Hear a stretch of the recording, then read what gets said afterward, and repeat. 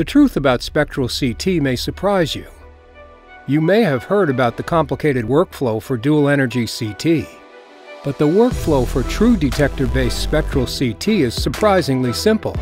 That's because dual energy CT acquires energy from two sources, which means it has speed limitations and requires special protocols.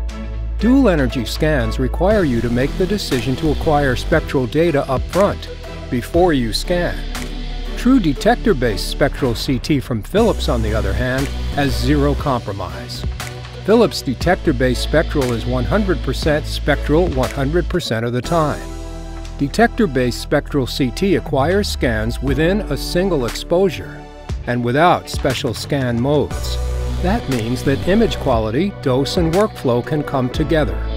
Spectral results are always available on demand. Scan as you normally would for fast, low-dose conventional and spectral data. It's not complicated.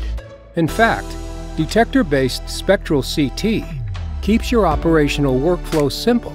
That's because true detector-based spectral CT is not just smart, it's surprisingly simple. Experience the simplicity of spectral detector CT.